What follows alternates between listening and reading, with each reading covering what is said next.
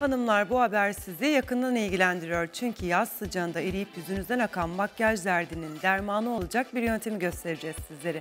İşte ıslak makyaj modası ve yapılışına dair püf noktaları.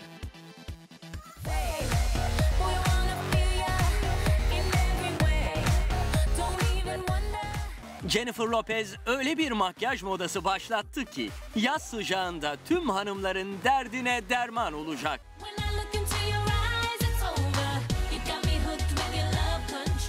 Makyajda yeni moda. Islak yüz görünümünün tüm detayları Magazin 8'de. Love you, love you, puppy. Yeah, that my puppy.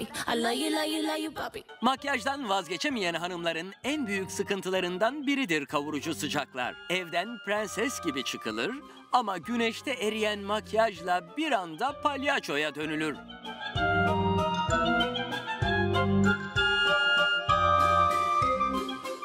Dünyaca ünlü popstar Jennifer Lopez de bu durumdan şikayetçi olsa gerek ki ıslak makyaj diye bir moda yarattı, herkes rahat etti.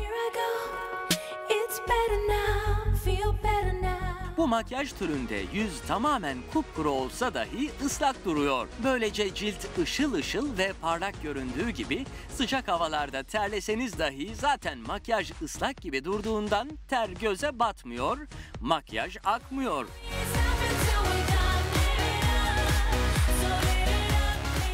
Peki bu iş nasıl olacak diyorsanız kağıdı kalemi hazırlayın, 4 adımda nasıl ıslak makyaj yapılır onu anlatacağız.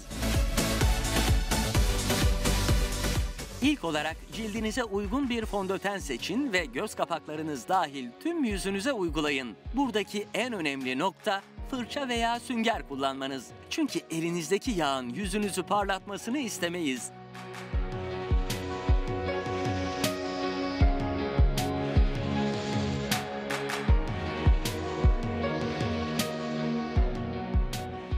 Şimdi sıra geldi aydınlatmaya ki işin en önemli kısmı bu. Göz altlarınıza, burun üstüne, dudak üstüne cildinizden 2 ton açık aydınlatıcı sürerek iyice yedirin.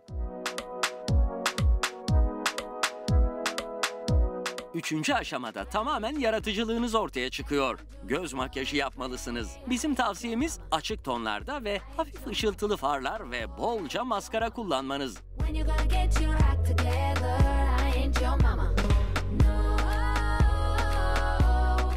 Ve son aşama. Yani yüzünüze ıslak görünümü verecek dokunuş.